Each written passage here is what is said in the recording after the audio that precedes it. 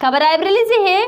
बता दें कि जेठ माह के तीसरे बड़े मंगलवार पर रायबरेली में जगह जगह भंडारे का आयोजन किया गया कलेक्टर परिसर में भी अधिवक्ताओं ने भव्य भंडारे का आयोजन करवाया, जिसमें जिलाधिकारी माला श्रीवास्तव समेत कई अधिकारी भी शामिल रहे, जिसके दौरान ही बता दें कि चलीसा पाठ के साथ ही बजरंग बली की पूजा अर्चना के बाद शुरू हुआ भंडारा। जिलाधिकारी माला श्रीवास्तव और वहीं इस मौके पर एडीएम प्रशासन सहित कई अन्य कर्मचारी अधिकारी मौके पर मौजूद रहे। अधिवक्ताओं ने इस दिन को सबसे बड़ा दिन बताते हुए जिलाधिकारी की मौजूदगी में आयोजित हुआ भंडारे का आयोजन। प्राइमरी की न्यूज़ शैली के लिए राम भवन रायबरेली उत्तर प्रदेश।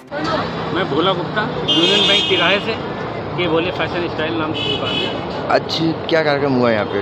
ये हमारा विगत सत्रह वर्षों की भांति इस वर्ष अट्ठारहवा विशाल भंडारा हो रहा है और सुबह प्रातः आठ बजे से सुंदरकांड का पाठ हुआ। उसके बाद हवन आरती और फिर ये प्रसाद वितरण चल रहा है। आज कौन कौन किन किन लोगों ने सहयोग किया उनके नाम बता दीजिए। सहयोग में महेश कुमार गुप्ता हैं दिनेश कुमार गुप्ता हैं अश्वनी हैं कृष्णा गुप्ता हैं राजेश शर्मा हैं जितेंद्र सिंह हैं अमित खत्री हैं आदि।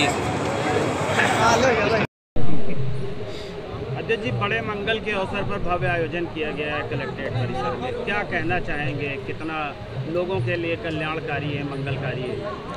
ये समाज के लिए और वादकारियों और वकीलों के लिए और अधिकारियों के सब के लिए ये मंगलकारी होता है।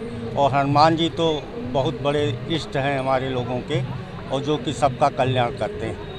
ये कार्यक्रम बहुत अच्छा है। यहाँ के कलेक्ट्रेट बार के सुशील कुमार श्रीवास्तव जी ने कार्यक्रम को किया। कलेक्ट्रेट के बार के लोगों ने वक्ताओं ने बहुत ही अच्छा कार्य किया।